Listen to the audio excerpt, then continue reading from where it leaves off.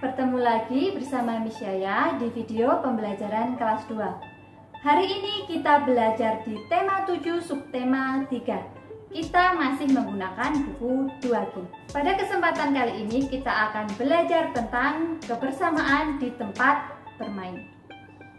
Langsung saja, yang pertama kita akan mengetahui beberapa manfaat kebersamaan di tempat bermain.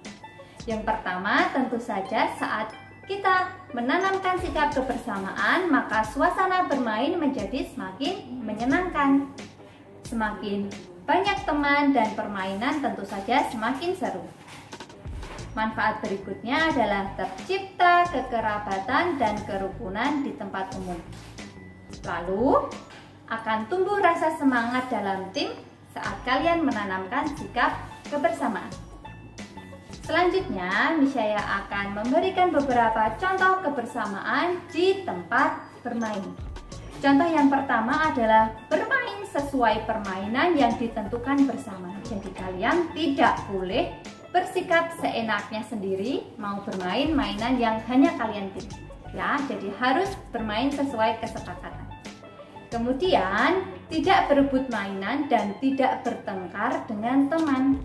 Bila ada suatu permainan yang ingin kalian mainkan, kalian harus bermain secara bergantian.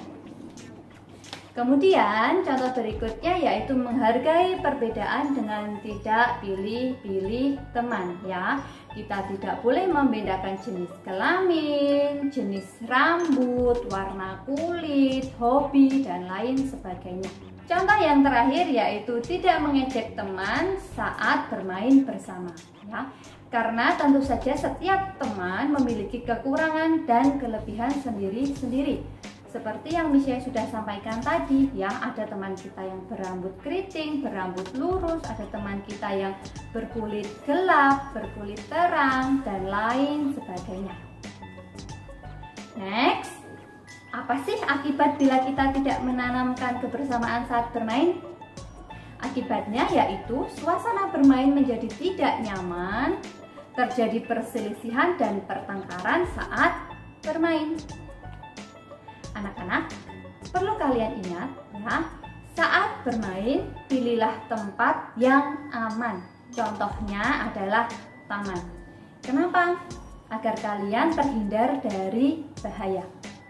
Kemudian saat kalian bermain, kalian juga tidak boleh lupa waktu. Ya, jangan bermain terlalu sore bahkan terlalu malam. Ya, kalian harus tahu waktu. Kemudian jangan lupa berpamitan saat kalian uh, ingin bermain bersama teman-teman kalian agar orang tua kalian atau orang yang ada di rumah tahu kalian pergi ke mana dan bermain bersama siapa.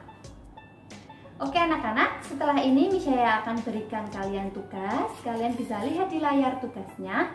Kerjakan tugas kalian di buku tulis tematik kalian masing-masing, kirimkan ke wali kelas masing-masing.